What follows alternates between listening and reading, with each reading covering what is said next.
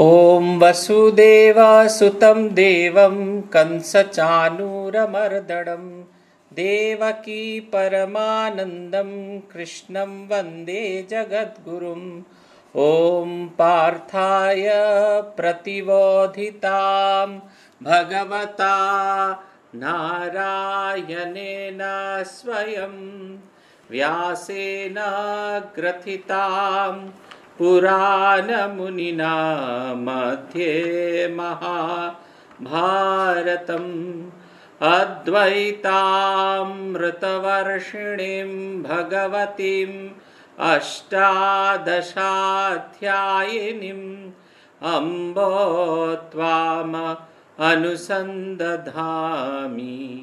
भगवद्गीते भवद्वेषिणीम् वसुदेवासुतं देवं कनसचानूरमर्दनं। देवकी परमानन्दं कृष्णं वन्दे जगद्गुरुं।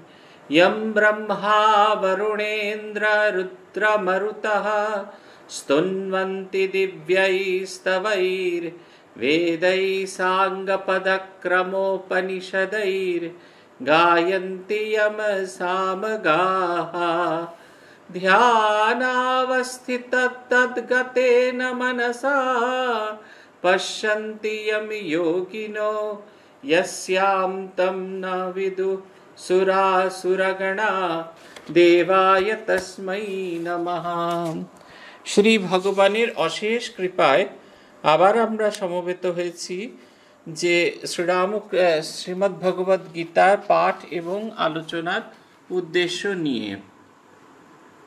এই উদ্দেশ্যে আমরা বিগত দিন অষ্টম অধ্যায় শেষ করেছিলাম। আজকে আমাদের শুরু করার কথা নবম অধ্যায়, যেটির নাম রাজবিদ্যা রাজগুহ্য যোগ। এই রাজকীয় জ্ঞান এবং রাজকীয় রহস্যের পথ রাজকীয় জ্ঞান। রাজকীয় জ্ঞান মানে এমন একটি জ্ঞান, রাজ, এমন একটি জ্ঞান সেটি আমাদের সর্বশ্রেষ্ঠতম পথের দিকে চালিত করবে। কেন গুজ্জ শব্দটি ব্যবহার করা হয়েছে? গুজ্জ শব্দটি ব্যবহার করছে। গুজ্জ শব্দের অন্য অর্থ হচ্ছে গোপন। আমরা কোন জিনিসকে গোপন করি? না, জিনিসটি খুব দামি, যেটা আমার কাছে খুব প্রয়োজনীয় বলে বস্তু মনে হয়। ধরুন আপনি পূর্বা পূর্বপুরুষদের কাছে একটি কহিনুর মণি পেয়েছেন। কহিনুর মণি পাওয়ার পরে আপনি যদি সবাইকে সেই কহিনুর মণিটা দেখাতে থাকেন, তাহলে কিন্তু তার আর দামিত্ব থাকে না। বাড়ির যিনি কাজে বাসন ধুতে এসেছেন, তাকে বলছেন, দিদি, এই দেখো কহিনুর মণি। তারপরে আপনার বাড়িতে কোনো অতিথি এসেছেন, তাকে দেখুন, এই দেখো কহিনুর মণি। তখন কিন্তু কেউ বলবে না, ওটা কহিনুর দূর বেটা, ওটা কহিনুর মণি। ওটা নিশ্চয়ই পাথর টাথর কিছু। নাহলে এরকম সহজে দেখানো যেত না। সেই কারণে গোপন করে রাখা হয়। আমার মনে আছে, আমরা যখন প্রথম সাধু হতে আসি, প্রথম বছর খুব কৌতূহল। ব্রহ্মচর্য দীক্ষা হচ্ছে, পঁচানব্বই সালের ঘটনা বলছি। আমরা চুরানব্বইতে জয়েন করেছি, পঁচানব্বই স্বামীজির জন্মতিথিতে ব্রহ্মচর্য দীক্ষা হচ্ছে। তার আগের দিন রাত্রিরে কালী পুজো হচ্ছে, ব্রহ্মচর্য স্বামীজির জন্মতিথির শেষ রাত্রে। আমাদের কালী পুজোয় বসতে দেওয়া হয়েছে। দেখছি ব্রহ্মচর্য দীক্ষার একটু একটু করে প্রস্তুতি শুরু হচ্ছে। আমরা ভাবছি যে কোনোভাবেই হোক, পিলার টিলারের পেছনে লুকিয়ে বসে থাকবা সব মন্তর টন্তর শুনে নেব। তারপরে তো সব বারটার করে দেওয়া হলো। আমরা দু চারজন যারা পেছন দিকে একটুখানি গোপনে বসে থাকার চেষ্টা করছিলাম, আমাদের সকলকে বার করে দিল। খুব মন খারাপ হয়ে গেল। বার্ষ তো করেই দিল মানে একদম মন্দির কমপ্লেক্সের বাইরে দূরে পাঠিয়ে দিল। পরের দিন পূজনীয় বিমল বিমলাত্মানজিকে জিজ্ঞেস করে আমাদের এরকম কেন করা হলো? উনি বললেন, ওটা সেক্রেট বলে, এত সিক্রেট পবিত্র বলে, তার জন্য এত গোপনীয়তা।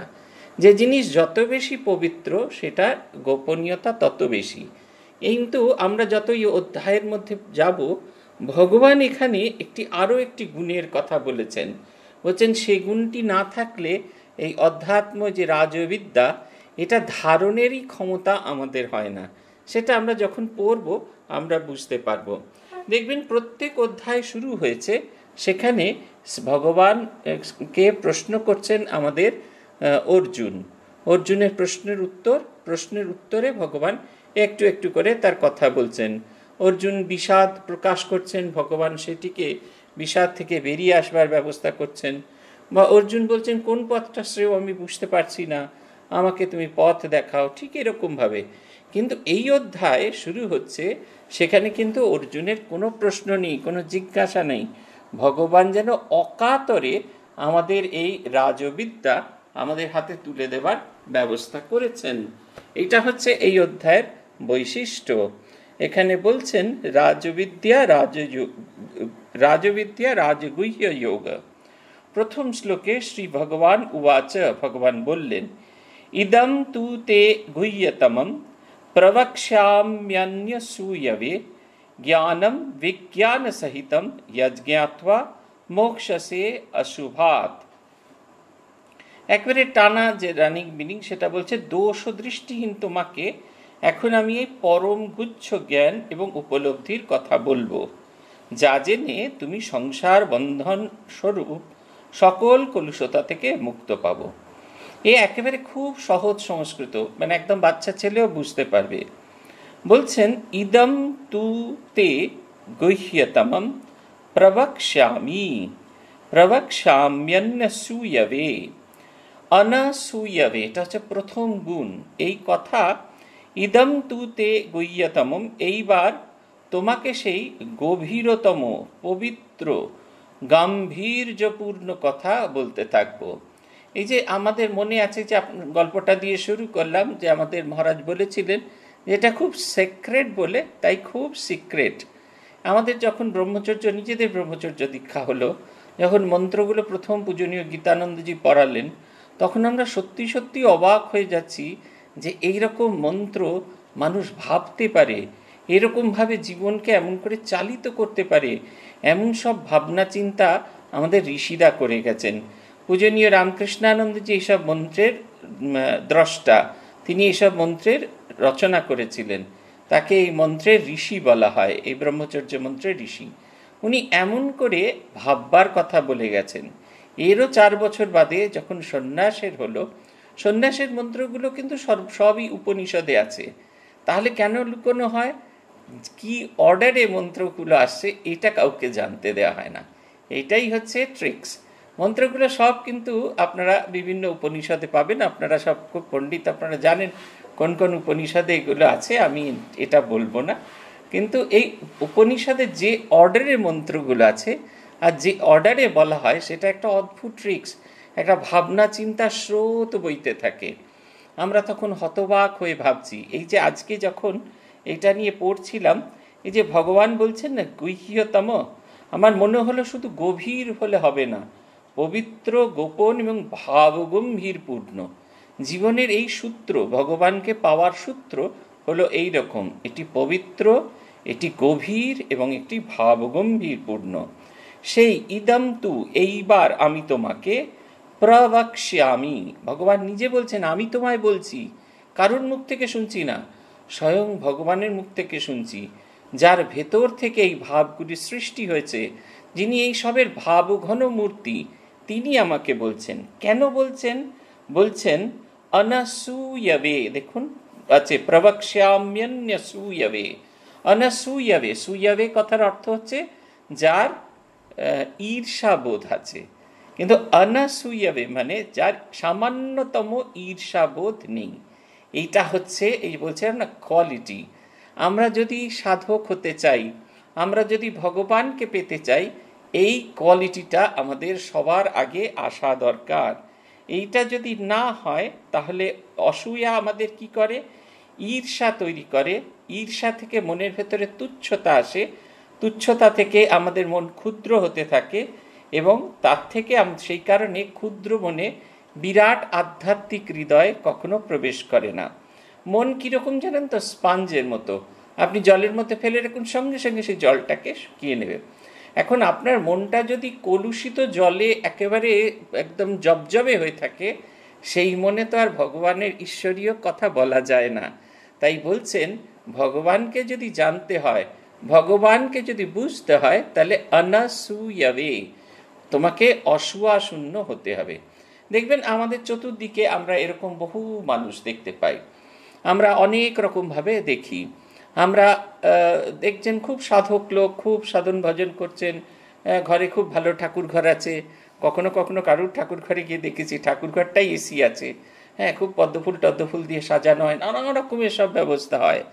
কিন্তু আসল জায়গায়, সামান্য পাশের বাড়ির কারুর একটুখানি, বাড়িটা একটুখানি বড় হয়েছে, পাথরটা একটু বেশি হয়েছে, অথবা কেউ একটু বেশি সাধুসঙ্গ করতে পারছে, কেউ একটি বেশি প্রেসিডেন্ট মাঝে কাছে আছে, কেউ একটু কারুর বিশ্ব কৃপা লাগবে। ব্যাস, ভেতরে একটা, আমাদের একজন আচার্য বলতেন বার্নিং সেন্সেশন জোয়ালা উনি আবার জ্বালা বলতেন না, বলতেন জোয়ালা হতে থাকছে। ওই যখনই জ্বালা আসছে, যাই হোকেন আমাদের মন সংকীর্ণ হচ্ছে, আমাদের মন ক্ষুদ্র হচ্ছে, আমাদের মন আরও ছোট হয়ে যাচ্ছে। আধ্যাত্ম সম্পদ বড় জ্বালার মতো। সেটাকে রাখতে গেলে হৃদয়টাকে খুব বড় করতে হয়। এমন একটা ইলাস্টিক হৃদয় করতে হয়, যত ঢালা যাবে, যত ঢালা যাবে, সেটা তত নেবে।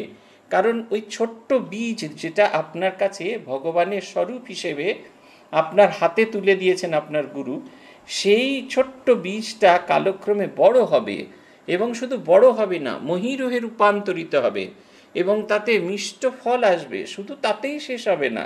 সেই আপনার যে হৃদয়ের বীজের তলায় বহু মানুষ এসে আশ্রয় নেবে এবং তারা আপনার মাধ্যমে ভগবানকে খুঁজে দেখবার চেষ্টা করবে। এইটা হচ্ছে কথা। তাই যদি আপনি যদি আপনার হৃদয়কে ছোট করে ফেলেন, তাহলে আপনি কখনোই কোনো অবস্থাতেই আপনাকে যত আধ্যাত্মিক জ্ঞানই দেওয়া হোক না কেন, সেটা আপনার মাথার বাইরে চলে যাবে। মায়ের একটা ছোট্ট কথা আছে, মনে রাখবেন। মা বলছেন, কৃপা ফিরে যায়। এই কৃপা ফিরে যায় হচ্ছে এই কারণে, আনাস আসুয়ার জন্য। আমার মনে আছে ভূতেশানন্দজি মহারাজের কাছে একজন ভদ্রমহিলা এসছেন। মহারাজ নাম বল, নাম জিজ্ঞেস করলে তিনি বলছেন অনুসুয়া, আমার নাম অনুসুয়া। মহারাজ বলছে না না, তোমার নাম অনুসুয়া নয়, অনসুয়া। ঠিক করে উচ্চারণ করো। অসুয়া, এই তখন বুঝিনি তো এই কথাগুলো আসবে? মহারাজ বলছেন, অসুয়া মানে হচ্ছে যে ঈর্ষা কাতর অনসুয়া মানে যার মধ্যে সামান্যতম নেই। বলছেন, তুমি তেমন তো মা? এমন সুন্দর করে বলছেন, তুমি তেমন তো মা? এইটা হচ্ছে কথা। আধ্যাত্মিক হতে গেলে আমাদের এইটি সবচেয়ে বড় গুণ, এটি হচ্ছে মানবিকতা সম্পন্ন মানুষ হওয়া দরকার। যিনি ঈর্ষামুক্ত মানুষ, তিনি সবসময় মানবিকতা সম্পন্ন মানুষ হবে। তাই শ্রীকৃষ্ণ অর্জুনকে বলছেন, তুমি অসুয়া থেকে মুক্ত। তোমাকে কেন বলব? কারণ তুমি অসুয়া থেকে মুক্ত, তোমার, তুমি এই যোগ্যতা সম্পন্ন। তুমি এই যোগ্যতার মানে উত্তীর্ণ হয়েছে, অতএব এই পরম গুচ্ছ সত্যের কথা আমি তোমাকে বলব। এখানে শুধু পরম গুচ্ছ বলেই তিনি থামেননি। উনি বলছেন গুহ্যতমম। এই তমম শব্দটা আমরা যখন সংস্কৃতে ব্যবহার করি, তমমটা হচ্ছে সর্বোচ্চ মান সুপারলেটিভ ডিগ্রি ইংরেজিতে পজিটিভ কম্প্যারিটিভ থাকে, আর এটা হচ্ছে সুপারলেটিভ ডিগ্রি সুপারলেটিভ ডিগ্রি অর্থে ব্যবহার করা হয়েছে। তাই তমম শব্দটা এখানে বলছেন, সেই সর্বোচ্চ মানের জিনিস তোমাকে বলব। আবার আরেকটা শব্দ আমরা বলেছি, প্রবক্ষ্যামি, আমি বলব তোমাকে। কেন? আমি এর স্বরূপ, আমি বলব। আকর থেকে যখন আমরা জিনিসপত্র নিই, সেটা একদম পুরো খাঁটি। আমরা খুঁজি না। কোন দোকানের মশলা একবারে ভীষণ রকমের খাঁটি। কেউ কেউ বিজ্ঞাপন দেয়, আমরা আমাদের নিজেদের ঘানিতে সর্ষের তেল ভেঙে আপনাদের দিই। ঘানিতে সর্ষের তেল ভাঙার সময় কত কি মিশিয়ে দিই, তার কোনো ঠিক নেই। কিন্তু খাঁটি ঘানির তেল আমরা সব সময় তার থেকে নেবার চেষ্টা করি। কারণ সেটা আকর থেকে বেরোচ্ছে। কিন্তু ভগবান এখানে বলছেন, আমি তোমায় বলব, প্রবক্ষ্যামি।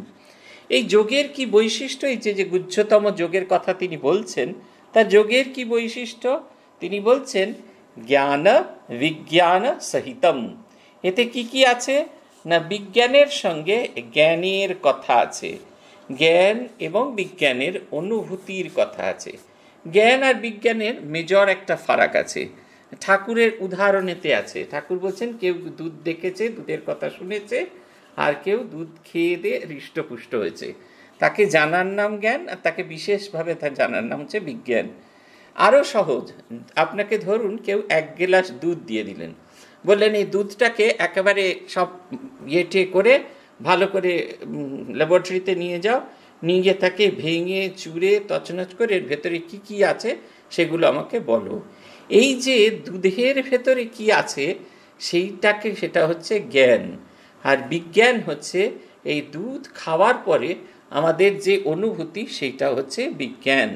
ঈশ্বরকে জানি, তিনি আমার হৃদয়ের মধ্যে আছেন, এটা হচ্ছে জ্ঞান। আর ঈশ্বরকে আমি প্রতি মুহূর্তে অনুভব করতে করতে আমি ঈশ্বরময় রূপান্তরিত হচ্ছি। এই আমি ঈশ্বরকে জানি এবং তাকে জেনে আমি ঈশ্বরময় হয়ে পড়ছি, এইটা হচ্ছে বিজ্ঞান। এইটা হচ্ছে এই এই তত্ত্বের কথা তিনি বলছেন, দুটো জিনিসই বলবেন তিনি। তিনি বলবেন, ভগবানের কথা, আর কেমন করে? ভগবান হয়ে যেতে হয়, তার গল্প বলবেন। এই আধ্যাত্মিক জ্ঞান এবং আধ্যাত্মিক জ্ঞানের সঙ্গে সঙ্গে চাই, আধ্যাত্মিক অনুভূতি। দেখবেন, বহু সময় আমরা তত্ত্ব কথা বলি, কিন্তু সেটা আমাদের হৃদয়কে স্পর্শ করে না। কেন স্পর্শ করে না? যিনি তত্ত্ব কথা বলছেন, তিনি অনুভব করেননি। তিনি যদি অনুভূতির রাজ্যে না প্রবেশ করতে পারেন, তাহলে তার কিন্তু এরকম হবে না। মা ঠাকুরনের জীবনী, ঠাকুরের তো জীবনী আছে, স্বামীজিরও আছে, কিন্তু মা ঠাকুরনের জীবনী ব্যাপারটা খুব পরিষ্কার করে বোঝা যায়। কখনো দেখবেন না, এমন একটাও কথা তিনি উচ্চারণ করেছেন, যেটা তিনি নিজে অনুভব করেননি। আপনার ঘুম পাচ্ছে, মা বলছেন হ্যাঁ সাধন ভজন করতে গেলে খুব রোগ করতে হয়। দক্ষিণেশ্বরে একদিন একটু শরীরটা খারাপ হয়ে গেল, তাই রোজ আর তিনটের সময় উঠে ধ্যান করতাম ভাবলাম একটু দেরি করে উঠি। তারপরে বললাম, আরেকটু দেরি করে উঠি। শেষকালে দেখলুম আর উঠতে পারছি না। তখন ঝেড়ে ফুরে উঠে বসতে আবার সেই পুরনো পদ্ধতি এসে গেল। এটা বোঝানোর কারণ হচ্ছে এই জ্ঞান আর বিজ্ঞান। এই দুটির ভেতরে ফারাক কি, এটা বোঝানোর জন্য।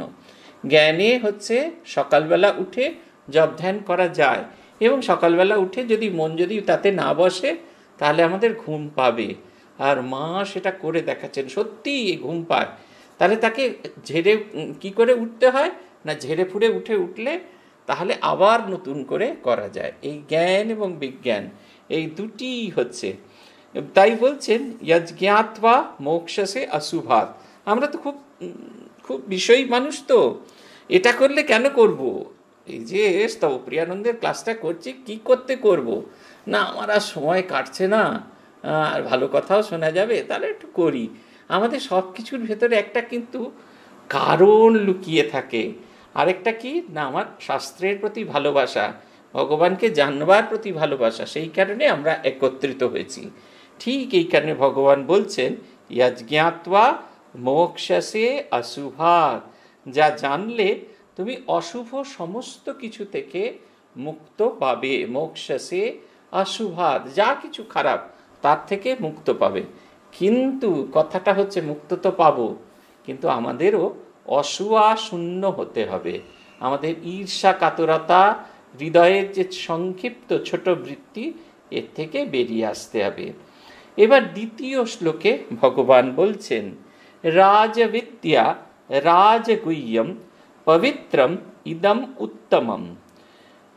প্রত্যক্ষা অবগমম ধর্মম সুসুখম কর্তুমব্যয়ম তাহলে বলছেন রানিং বিদ্যা হচ্ছে মিনিং হচ্ছে এই। এই বিদ্যা সর্বোচ্চ এবং শ্রেষ্ঠ। গভীরতার দিক থেকে গভীরতম এবং পবিত্রতার দিক থেকে পবিত্রতম। এই বিদ্যা প্রত্যক্ষ, বোধগম্য, ন্যায় ও ধর্মসঙ্গত, সহজসাধ্য এবং স্বভাবত অক্ষয়। এখানে প্রত্যেকটা শব্দই খুব তাৎপর্যপূর্ণ। কি সুন্দর করে বলছেন। প্রথম শব্দ যেটা ব্যবহার করছেন সেটা হচ্ছে রাজবিদ্যা। রাজবিদ্যা মানে হচ্ছে সমস্ত বিদ্যার মধ্যে যেটা শ্রেষ্ঠ। এই শ্রেষ্ঠ বোঝাতে রাজ শব্দটা ব্যবহার করা হয়েছে। আমরা সব পলা, প্যাঞ্চা সব হচ্ছে প্রজা। কিন্তু আমাদের মধ্যে যিনি নেতা, তিনি হলেন রাজা। কেন তিনি রাজা? কারণ তিনি সেরা, আমাদের মধ্যে শ্রেষ্ঠ। আমরা সবাই এসেছি, অনেকে এসেছি ভগবানকে ডাকবো বলে, কিন্তু তার ভেতরে একজন ভগবানের দিকে এগিয়ে যাচ্ছেন। তিনি শ্রেষ্ঠ। কত লোক সন্ন্যাসী হয়েছেন? ষাট সালে শঙ্করানন্দজি যখন সন্ন্যাস দিয়েছিলেন, কত লোকের সন্ন্যাস হয়েছে? কিন্তু তার মধ্যে একজন স্বামী স্মরণানন্দজিকে ঠাকুর তুলে তার আসনে বসিয়েছেন। কেন? তিনি এই গুণেতে সেরা। তাকে আমরা নতমস্তকে মেনে নিয়েছি। আমার দেখার সৌভাগ্য হয়েছিল। ভূতেশানন্দজির শরীর চলে যাওয়ার পর রঙ্গনাথানন্দজি যখন প্রেসিডেন্ট হলেন, রঙ্গনাথানন্দজি যখন শরীর চলে গেল, তখন গহনানন্দজি প্রেসিডেন্ট হলেন। গহনানন্দজির শরীর চলে যাওয়ার পর আত্মস্থানন্দজি প্রেসিডেন্ট হলেন। স্মরণাঞ্জিতটা দেখার সৌভাগ্য হয়নি। কিন্তু দেখেছি যখন তারা এলেন, এই একই মানুষদের আগেও দেখেছি। কিন্তু তারা যখন আসছেন, আমার এখনও চোখে ভাসে। রঙ্গনাথানন্দজি হেঁটে হেঁটে আসছেন। মায়ের মন্দিরে এসে প্রণাম করেছেন, স্বামীজির মন্দিরে এসে প্রণাম করছেন, তারপরে তিনি পুরো ওই আমাদের সমাধিপীঠ সেখান থেকে প্রণাম করে আসছেন। একটা দৃপ্ত পদক্ষেপে আসছেন এবং সমস্ত সংঘ কাউকে বলে দিতে হচ্ছে না, তোমরা মাথা নত করো, তোমরা হাত জোর করো, তিনি কাউকে কিছু বলছেন না। তিনি উল্টে হাত জোর করে আসছেন, সমগ্র সংঘ মাথা নিচু করে এসেছে। সমগ্র সংঘ বুঝিয়ে দিচ্ছেন, তুমি আমাদের রাজা। তুমি আমাদের প্রধান, তুমি আমাদের প্রবীণ। এইখানে তাই এই বিদ্যা শব্দের আগে রাজ শব্দটা ব্যবহার করেছে সেই বিদ্যাই রাজ, যেটা শ্রেষ্ঠতার মাপকাঠিতে বাপা যায়। বিদ্যা শব্দের অর্থ হচ্ছে বিজ্ঞান বা বিশেষ রূপে জ্ঞান। বস্তুত আমাদের বিজ্ঞান শব্দের এই অর্থ, আসল অর্থ হচ্ছে জ্ঞান। এর মধ্যে কোনো অস্পষ্টতা নেই। বিজ্ঞান মানে কি না পরীক্ষিত সত্য? একই সঙ্গে যেটা পরীক্ষণীয়। আমার পূর্বপুরুষ পূর্ব পূর্বপূর্ব সাধক, তারা এটা জীবনে পরীক্ষা করে এই সত্য উপলব্ধি করেছেন। এই সত্যের স্বরূপ আমার হাতে তুলে দিয়েছেন। এখন এই এই স্বরূপটি এমন যেটি আমি আমার জীবনেও পরীক্ষা করে দেখতে পারি। তাই জ্ঞান হচ্ছে, বিজ্ঞান হচ্ছে দুরকম। একটা হচ্ছে পরীক্ষিত আরেকটা হচ্ছে পরীক্ষণীয়। স্বামী সোমেশ্বরানন্দজি মহারাজ, একটা ভারী সুন্দর স্মৃতিকথা, এর আগেও আমি বলেছি। মাধবানন্দজিকে মহারাজকে তিনি জিজ্ঞেস করছেন আচ্ছা আপনার কি মনে হয়, এই যে দীক্ষা হবে আমার, এই যে মন্ত্র জপ করব, এই মন্ত্র জপ করলে কি আমার ভগবান লাভ হবে? মাধবানন্দজি বললেন, তোমাকে কে বলেছে এইসব বিশ্বাস করতে? তুমি করে দেখো, পেলে তুমি পাবে, না পেলে তুমি না পাবে। ওই দেখুন, মাধবানন্দজি পেয়েছেন, এটা তার পরীক্ষিত সত্য। ঈশ্বরকে পাওয়া যায়, এটা তার জীবনে তিনি পরীক্ষিত সত্য হিসেবে তিনি সেই জায়গায় পৌঁছেছেন। কিন্তু একই সঙ্গে তার পরীক্ষিত সত্যকে যখন কেউ চ্যালেঞ্জ করছে, তখন তিনি সেটাকে ওপেন রাখছেন। হ্যাঁ নিশ্চয়ই। তুমি দেখতেই পারো, দেখো, পরীক্ষা করে দেখো, পেলে তুমি পাবে, না পেলে তুমি না পাবে। বিজ্ঞান হচ্ছে তাই, এই পরীক্ষিত সত্য একই সঙ্গে এটি পরীক্ষণীয় সত্য। এই রাজবিদ্যা তিনি হচ্ছেন সমস্ত সব বিদ্যার শ্রেষ্ঠ বিদ্যা। তারপরে কি বলছেন? রাজবিদ্যা রাজগুহ্যম। এই বিদ্যা হলেন গুচ্ছতম, গভীর, রহস্যময়। কিন্তু আমার যেটা শব্দ যে শব্দটি বেশি ভালো লাগে, সেটা হচ্ছে নিগুড় শব্দ, গভীর। একেবারে গভীরতম। যে বিদ্যার ভেতরে আমরা যেন নিজেদেরকে ডুবিয়ে ফেলতে পারি যার ভেতরে আমরা জারিত হতে পারি। সেই কারণে তা বলছেন রাজগুহ্যম। এটা গভীরতম, এটা রহস্যময়, এটা নিগুড়। রহস্য মানে রহস্য তো সেইখানেই। আমার কাছ থেকে লুকিয়ে রাখা হয়েছে, তাই তো রহস্য। নাহলে তো কোনোটাই রহস্য নয়।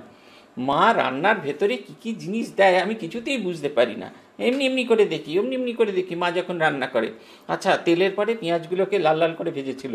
তারপরে একটা কী একটা কী নুন কতটা দিয়েছিল? বইতে লেখা আছে দেড় চামচ। দেড় চামচকে অতটা দিল? আমার কাছ থেকে লুকিয়ে রাখছে মা, কিছুতেই বলতে দিচ্ছে না। তাই তো গুজ্জতম তাই তো গোপনীয়। সেই কারণে এটা আমি এর যোগ্য হয়ে উঠলে এটা হবে। গুচ্ছতম এইখানে, এই কারণে গুচ্ছতম কারণ এর গভীরে যেতে হয়, ওপরে ওপরে ভাসলে হয় না।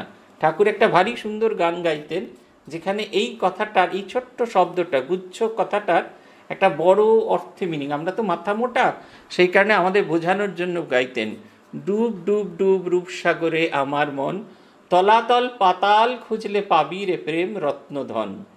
এই যে তলাতল পাতাল, তল অতল, তার নিচে যেতে হয় সেই পাতালে যদি পৌঁছয়, তবে সেই রত্নধন পাওয়া যায়।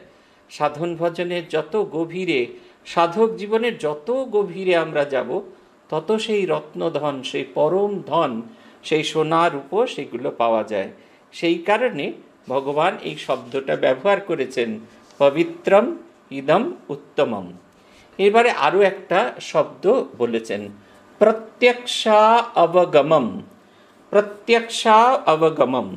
প্রত্যক্ষা অবগমম মানেটা কি? না, আমাদের নিত্য দিনের জীবনের যে অভিজ্ঞতা, সেই অভিজ্ঞতা থেকে আমরা এটা অনুভব করতে পারি। দেখুন, কতখানি ওপেন দিচ্ছেন। দেখুন, বিজ্ঞান মহারাজকে জিজ্ঞেস করা হচ্ছে, আমাদের কিছু উপদেশ দিন। বিজ্ঞান মহারাজ বলছেন, আর কি উপদেশ দেবো? সব তো সেই বিদ্যাসাগর মহারাজ বর্ণ পরিচয় বলে দিয়েছেন। সেইগুলো পালন করলেই হবে। সদা আমরা কেউ কিন্তু ভাবি না। বিজ্ঞান মহারাজ মনে করাচ্ছেন, সদা সত্য কথা বলিবে এবং পরের দ্রব্য না বলিয়া লইলে চুরি করা হয়।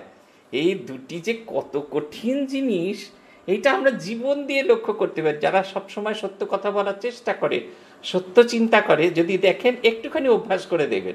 আমি বলছি না যে আপনারা সবাই সত্য কথা, মিথ্যা কথা বলেন, তা বলছি না। আমি বলছি, কখনো এর যদি মনে হচ্ছে, আমি বোধহয় যথেষ্ট সত্য বলছি না, একদিন অভ্যেস করে দেখবেন। দেখবেন একটা অসীম শক্তি আসছে, একটা অদ্ভুত রকমের আনন্দ আসছে। আমাদের পরের দ্রব্য না বলিয়া হইলে চুরি করা হয়। আমরা ভাবি যে এর বাসন, ওর কোষণ, ওর গয়না, এটা নিলে পরের দ্রব্য, তা কিন্তু নয়। পরের আইডিয়াটাও চুরি করি আমরা। একবারে টোটো বসিয়ে দিই, বলি, আমার লেখা, আমার কথা, আমার ভাব। এমনকি কান পেতে পাশের ঘরে গিয়ে শুনি, ওরা কি আলোচনা করছে?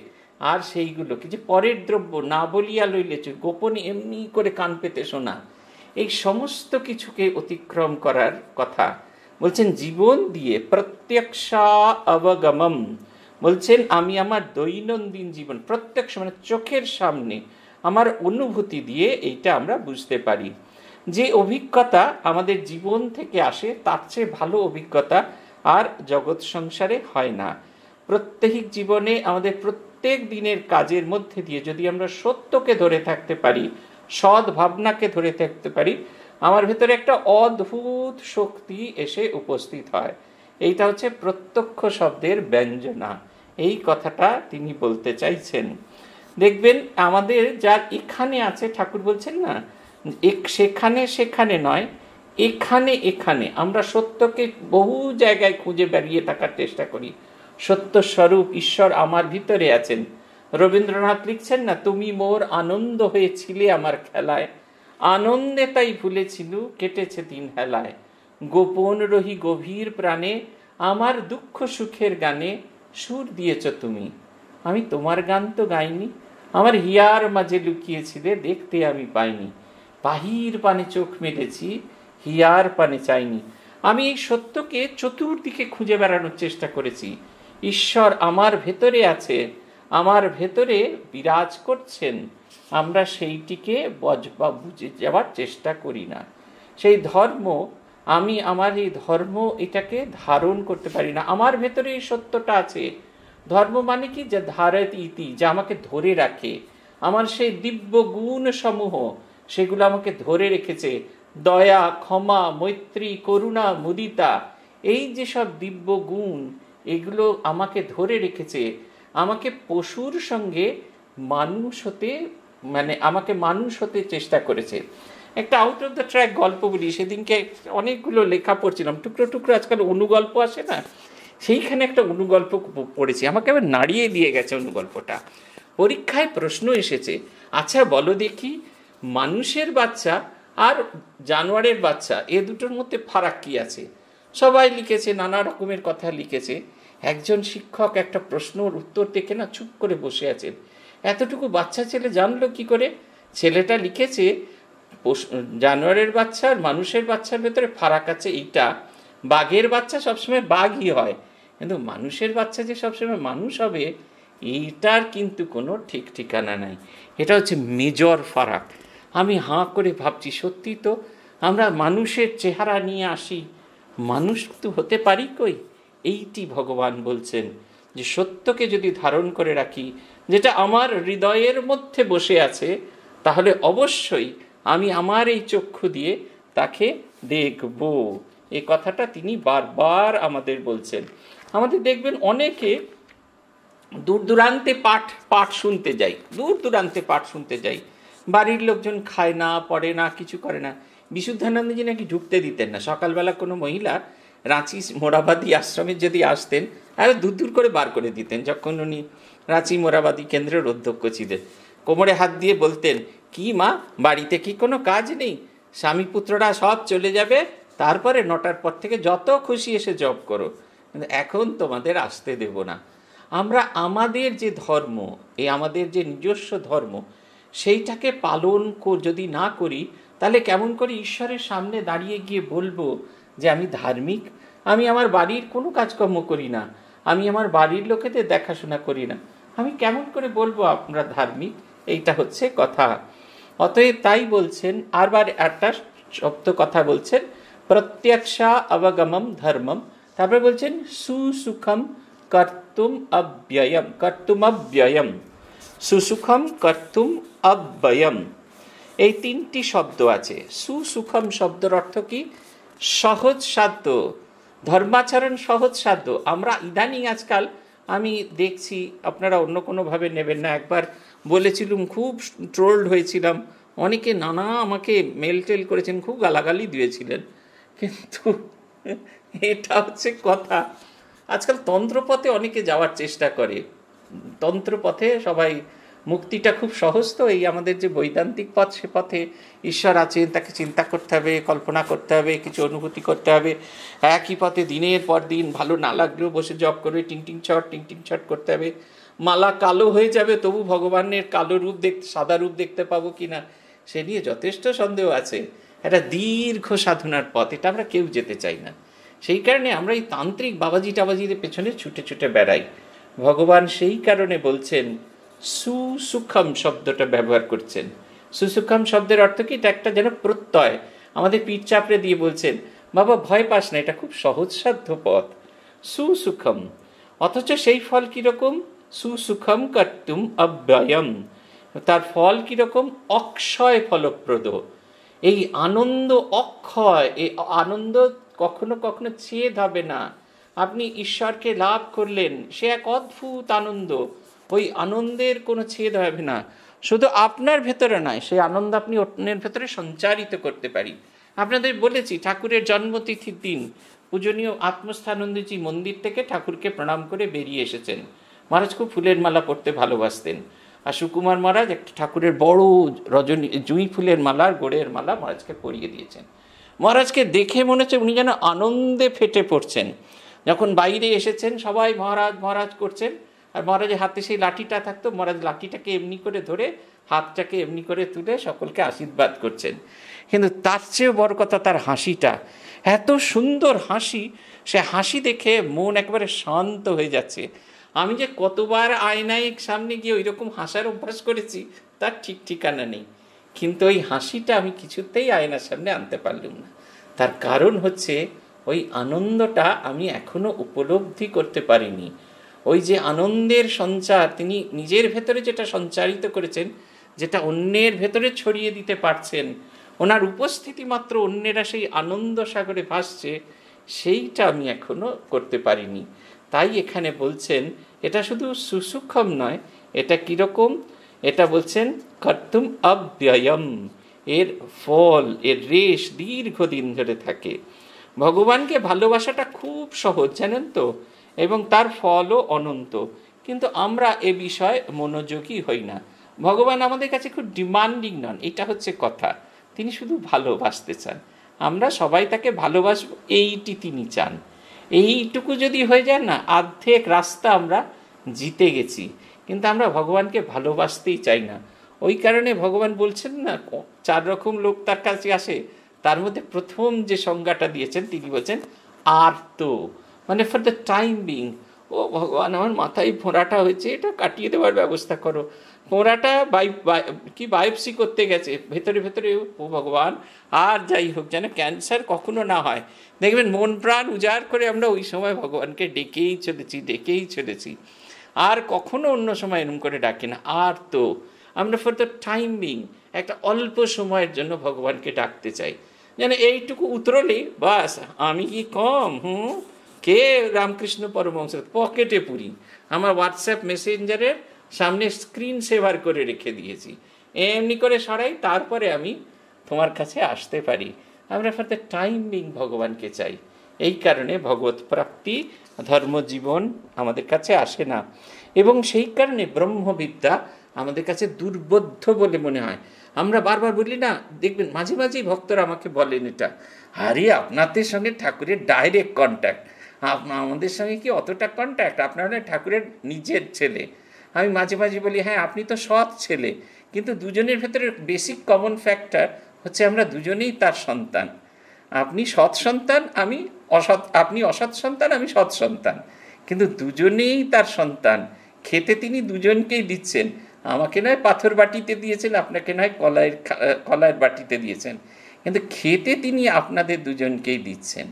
এইটা হচ্ছে কথা। তার ভালোবাসার প্রকাশটা হয়তো অন্যরকম হতে পারে, কিন্তু ভালোবাসা দুজনের কাছেই সমান। অথচ এই বস্তুটা আমরা বুঝতে পারি না বলেই আমাদের এত কষ্ট হয়। সেই কারণে ভগবান এই কথাটা বলতে চাইছেন। এই শব্দ দুটো ব্যবহার করেছেন প্রত্যক্ষা অবগমম আর বলছেন সুসুখম। খুব সহজে, খুব স্বাভাবিকভাবে আমরা তাকে পেয়ে যাই।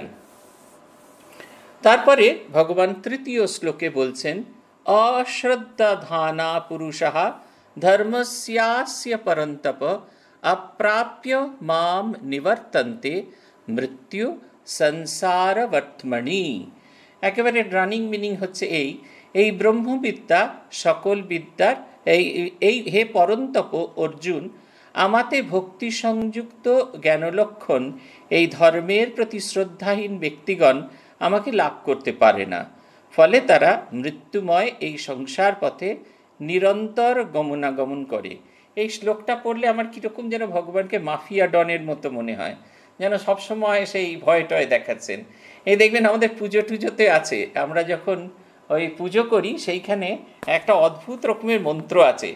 হাতের মধ্যে চাল নিই, আর নিয়ে ফট ফট ফট ফট করে সাতবার তাকে সেটাতে অর্চনা করি। তারপরে বলতে থাকি ওম সর্ব বিঘ্নানুৎসারয় স্বাহা ওম সর্ব বিঘ্নানুৎসারয় হুং ফট স্বাহা ওম অপসর্পন্তু তে সর্পন্তু ये ভূতা তে ভূতা ভুবি সনস্থিতাহ ये ভূতা বিঘ্নকর্তস্তে নশ্যন্তু শিবজ্ঞয়া সে ভূতেদের বলছে দেখো বাপু এই মন্ত্র হুংফট সহা মন্ত্র বললুম এতে বিদে হলে হও ভালোভাবে বিদে হলে হও নাহলে শিবের আজ্ঞায় তোমায় মেরে বার করে দেবো তোমাকে মেরে কেন বাইরে বার করে দেবো সব পুজোর মন্ত্রে এই পুজোর মন্ত্র বলতে গেলে আমার কীরকম মনে হয়? আমিও যেন ফাটাকেষ্ট হয়ে গেছি। আর বুকের কাছে বন্দুকটা ধরে বলছি, বেটা, বাড়ি লিখে দে, নালে তোকে শেষ করে দেবো। এইখানেও কিন্তু ভগবান ঠিক খানিকটা তার অ্যাটিটিউডটা ওই রকম বলছেন, এবার শব্দগুলো ব্যবহার করছেন। অশ্রদ্ধানা পুরুষাহা। কারা সেই মানুষ? যাদের বিশ্বাস নেই। যারা বিশ্বাস করে না। ভগবান যে আছেন আমরা যে নিজেদের ভগবান আছেন, এটা তো অনেক পরের কথা। আমার দ্বারা যে ভগবান লাভ হওয়া সম্ভব, আমার দ্বারা যে ভালো হওয়া সম্ভব, এই ভাবনাটাতেই যে বিশ্বাস করে না। সব কিছুর ভেতরে যেন একটা অশ্রদ্ধার ভাব লুকিয়ে আছে। সেই সব বিশ্বাসহীনের মানুষের জন্য তিনি বলছেন, অশ্রদ্ধা ধানা পুরুষাহা ধর্মস্যাস্য। এই দর্শন সম্পর্কে বিশ্বাসীন মানুষের এই ধর্ম সম্পর্কে বিশ্বাসীন মানুষ। হে পরন্তপ অর্জুন, অর্জুনকে পরম তপ যারা অন্যকে তাপ দিয়ে থাকেন, তারা কি করেন? তারা আমাকে পায় না। অপ্রাপ্য মাম নিবর্তন্তে, তারা আমাকে পায় না। তারা আমি তাদের প্রাপ্তির মধ্যে থাকি না। আর না পেলে কি করি? আমরা, তারা, আমরা বারবার ফিরে আসি। মৃত্যু, সংসার, সাগরাত। এক মিনিট। চার্জ একটুখানি কমে গেছে। একটু চার্জ হুম। আবার দেখবেন আমরা আলোকিত। এনলাইটেন অনেক বছর আগে, সাড়ে চুয়াত্তর দেখেছিলাম সেখানে মানু বন্দ্যোপাধ্যায়ের মুখের এই শব্দটা শুনেছিলাম। বলেছিলেন আলোক প্রাপ্তা এখনকার মায়েরা যারা পড়াশোনা করেন, তারা সব আলোক প্রাপ্তা এনলাইটেন্ডেড এত সুন্দর বাংলা আমি কখনো শুনিনি। আমি মাঝে মাঝে ব্যবহার করি, যখন আমার এই আমাদের ল্যাপটপে চার্জ কমে যায়, তারপর চার্জ যেই জ্বালানোর পরে ঝকঝকে হয়ে যায়, তো তখন বলে আলোকপ্রাপ্ত আমার কম্পিউটারটা এখন। তা বলছেন যেটা, সেটা হচ্ছে তারা বারবার এই মৃত্যু সংসারের মধ্যে ফিরে আসে। হিতোপদেশের একটা ভারী সুন্দর উপদেশ আছে, সেখানে বলছেন, ধর্মে না হীনা পশুভি সমানা। আমাদের জীবন থেকে ধর্মকে যদি সরিয়ে দেওয়া যায়, ধর্মে না পশুভি সমানা। তাহলে আমাদের অবস্থাটা কীরকম হয়? পশুর সাথে আমাদের তুলনা থাকে না। ওই যে বললাম, বাঘের বাচ্চা সবসময় বাঘ হবে। কিন্তু মানুষের বাচ্চা যে মানুষ হবে এই নিয়ে কিন্তু সবচেয়ে বড় সংশয়। হিতোপদেশ বলছেন, ধর্মে নাহি না পশুভি সমানা। এই জীবন থেকে যদি আমরা ধর্মকে সরিয়ে নিই, সত্য, দয়া, ক্ষমা, মৈত্রী, মদিতা এই জাতীয় যে উচ্চ গুণগুলো, এগুলো যদি আমি সরিয়ে নিই, তাহলে আমাদের অবস্থা একেবারে সেই শিকার সন্ধানী পশুর মতো হয়ে যাবে। আমরা মানুষের সাথে মানুষে মিশব শুধুমাত্র প্রয়োজনে। প্রয়োজন ছাড়া আমরা কোনো অবস্থাতেই কারোর সাথে কোনো সম্পর্ক তৈরি করব না।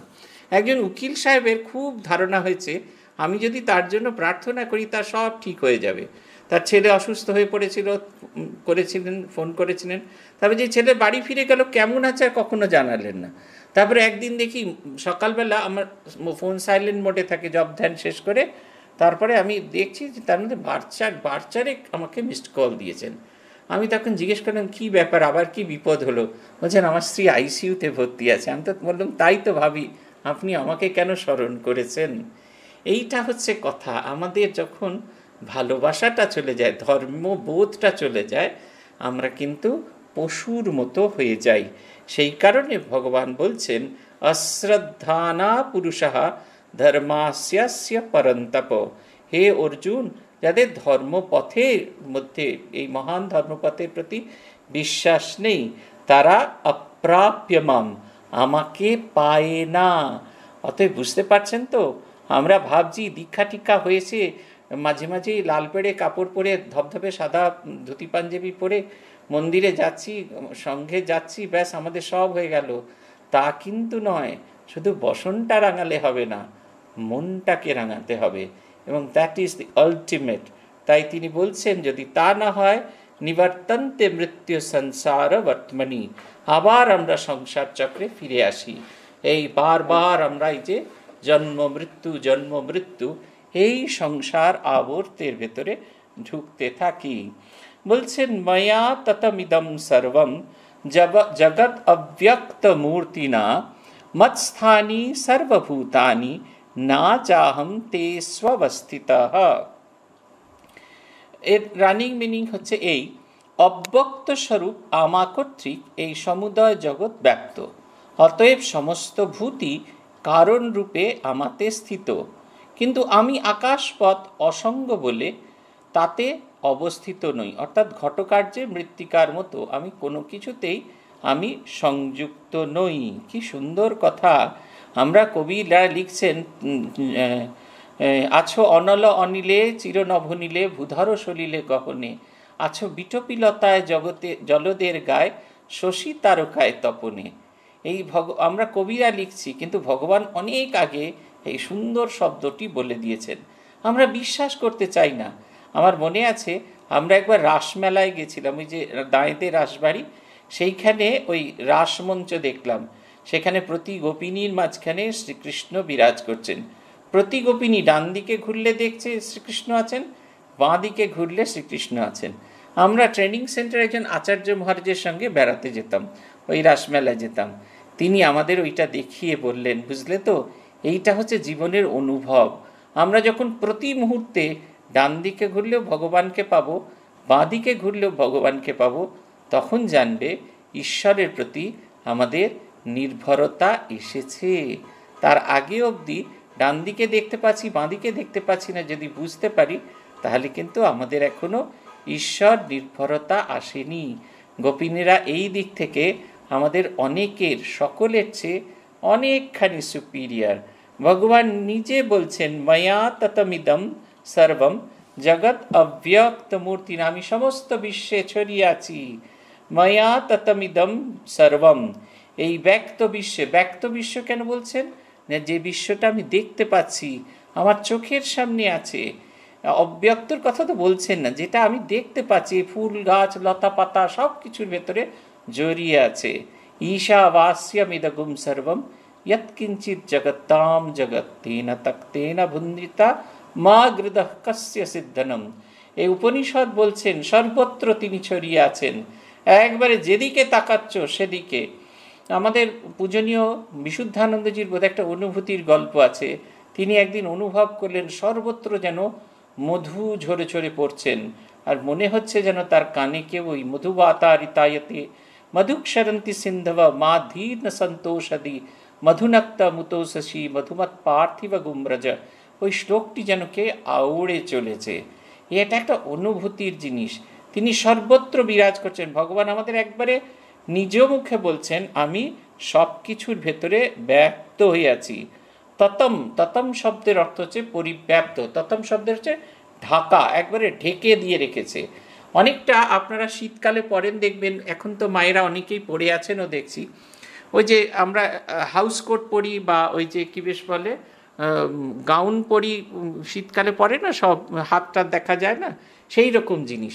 সেই রকম আমাদের শরীরটা যদি জগৎ হয়, আর ভগবান সেটাকে ব্যাপ্ত করে রেখেছে, কবচের মতো ঢেকে রেখেছে। এবং সেটা কীরকম, সেটা পরিব্যাপ্ত কীরকমভাবে আছে? না, বিশুদ্ধ চৈতন্য স্বরূপ দিয়ে।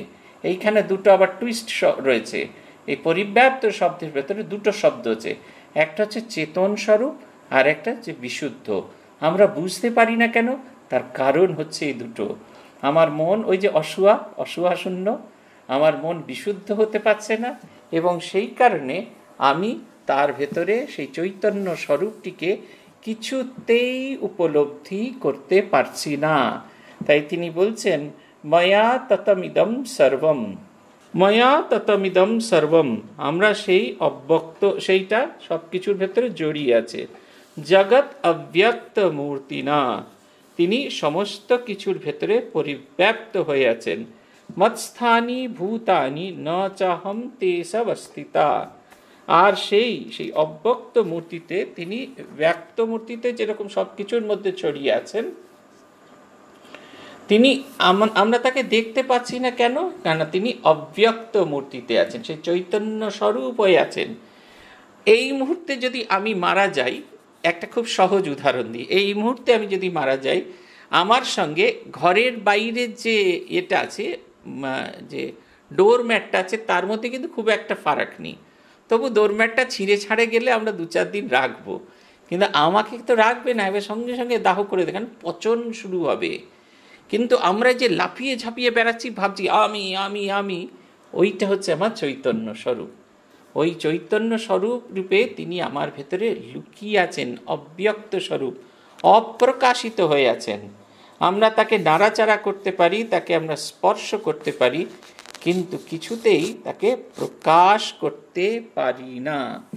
তাই তিনি বলছেন, মৎস্থানি সর্বভূতানি, ন চাহম তে সবস্থিতা। মৎস্থানি সর্বভূতানি, সমস্ত জীব আমার ভেতরেও আছে। সব কিছু আমার ভেতরে। যখন আমরা দেখব আমরা বিশ্বরূপ দর্শন যোগ যখন পড়ব তখন দেখব, অর্জুন দেখলেন সমস্ত কিছু ভগবানের মধ্যে আছেন। এমনকি তিনি যে অর্জুন ইয়েকে দেখছেন, তিনি দাঁড়িয়েছেন, তাকেও তিনিও দৃশ্যমান।